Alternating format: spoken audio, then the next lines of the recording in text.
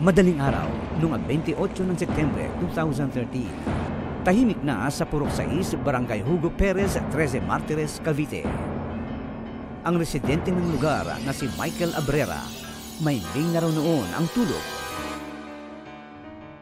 Pero dakong alas 3 ng madaling araw,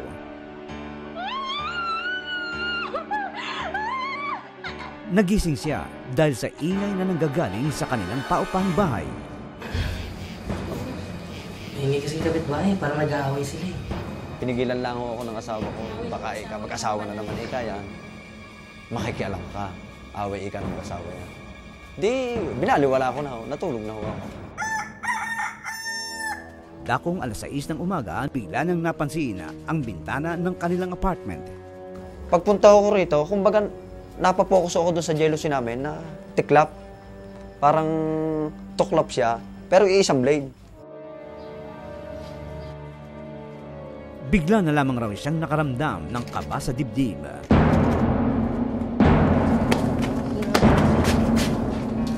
Tao po! Sa natin tayo. Tatlong boarders raw ang nagre-renta sa kanilang apartment. Pero nagtaka sila nang wala silang nakitang tao sa loob. Wala na ho yung gamit mo. Nilis na ho yung, kwan eh, yung higaan nila eh. Kahit anong isa, wala. Higaan na lang ho natira. Opo. Sabi ko, tatay, ay katuko niyo yung kwarto.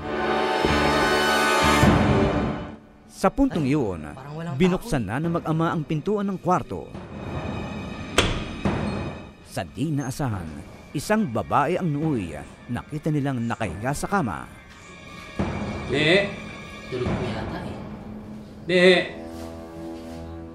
Takang-taka at gulat na gulat noon ang mag-ama. Sabi ko, tatay, huwag niyo kakong kuwanin. Para kakong iba na kako yan. Report natin to. Sige po tayo. Tara, tara. Sino ang naturang babae? At ano nga ba ang nangyari sa naturang boarding house? Sundan ang investigasyon ngayong Sabado sa Soko, 4.45pm, pagkatapos ng Faidon ngayon. Narito ang kwentong krimeng tampok ng inyong ABS-CBN Soko